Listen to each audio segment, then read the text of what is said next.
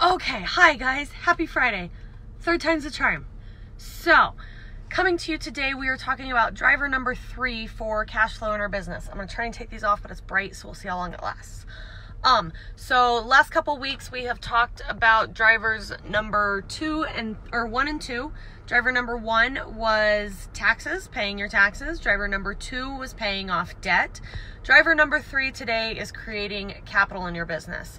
And when I'm talking creating capital, I'm not talking about taking out a business loan or a line of credit or anything like that. We are actually talking about taking cash that your business has earned that does not have a purpose elsewhere in your business and creating capital through this. And so, in doing so, your goal should be random hair in the eye, sorry. Your goal should be to create three to six months of your business needs in a savings account for your business. Um, oh my gosh, it's gonna drive me nuts, guys. I'm sorry.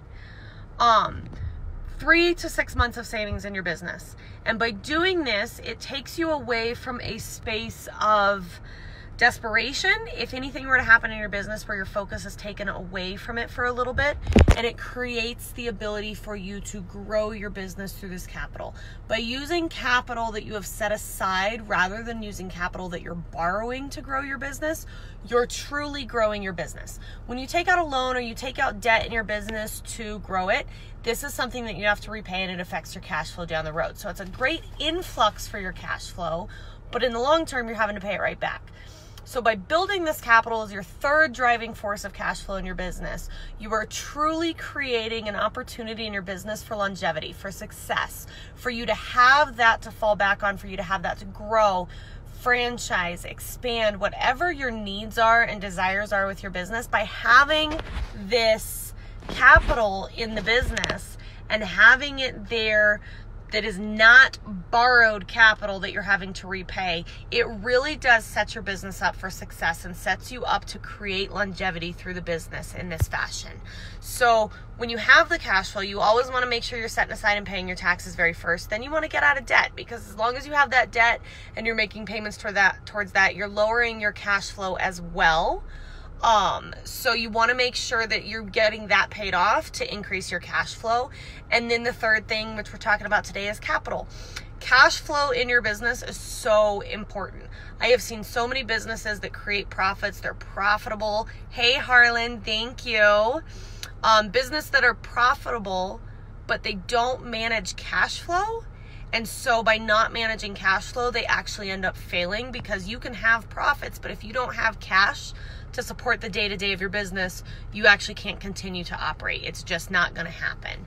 So, by using driver number three and creating this capital in your business and creating this ability for you to fund the growth in your business internally rather than having to look, look externally for funding your business, it really is setting you up for long term success. It's setting you up to be able to survive through those low, slow times, those months where things just don't actually get to the point where your influx is just not putting out or your influx coming in is not sufficient to support your outflux for the month. We all have those months. They shouldn't be very often but we do have those months. And by having this capital base in your business, you're able to thrive through these times, not just survive them, and you're able to continue to grow with intention this way.